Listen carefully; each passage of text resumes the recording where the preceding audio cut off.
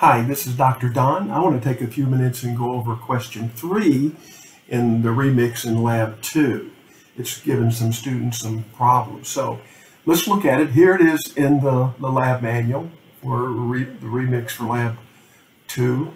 And the first question is in the lab 02 describing data rehearse, describing data is the second rehearse, we found descriptive statistics for Gapminder data for life expectancy for each continent. Copy that code chunk, and this is the part that people are missing as edited. In other words, we've got to go back to the rehearse, get the code that was not edited, and then edit it appropriately. And so let's let's do that. I'm going to jump here over to that rehearse. And here it, it is, section 5.1 on life expectancy. And here's the instructions. Here's the code that we've got to edit, and here's the instructions for editing it. Change the data frame, the source data frame, MyDF, which is right there, to Gapminder DF. Change the conditions in the group by, because this was looking at con uh, conditions. We want to group by continent, so we would change that to continent, which is the other another variable.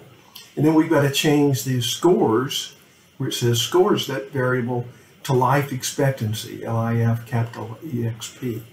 So let's copy that. Go back over here to RStudio Cloud, and here's our empty code chunk. And I'm going to control V and paste that in there.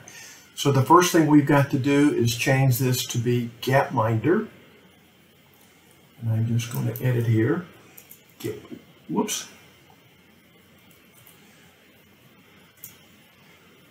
Put my cursor in the right spot. Edit.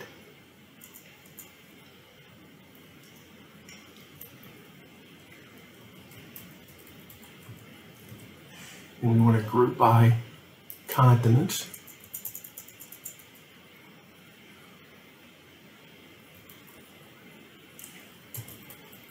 Continent, whoop.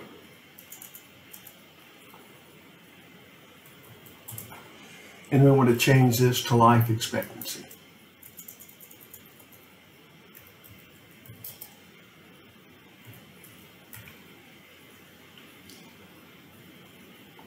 No space. Okay, I've got all those edits changed there. Gapminder DF, continent to group by, life expectancy for the four variables here. And then we just run the code. And we've got our summary table. We see the five continents and what the mean life expectancy is for each of those, as well as the standard deviation, the min and the max. So that's pretty interesting. Let's move on to the next part. We scroll down here, and this quite a few students are missing, and it's what is the mean standard deviation, min and max life expectancy again for all the Gapminder across all years and countries. So we haven't filtered for year on this, but we did group by continents. So it gives us the hint to not use the group by. And that's all I did here was to edit out that row up here where it says group by and, and get rid of the pipe there as well. So you end up without that row there. And we've got to summarize again. Everything else is just what we need so we can run it. And there is the mean standard deviation, min and max life expectancy across all continents in all years, which is what we needed for this. So then you would just answer the questions here. Which continent statistics are most like the overall statistics, etc. So answer those and then you would move on to the next question. So I hope this helps on problem three.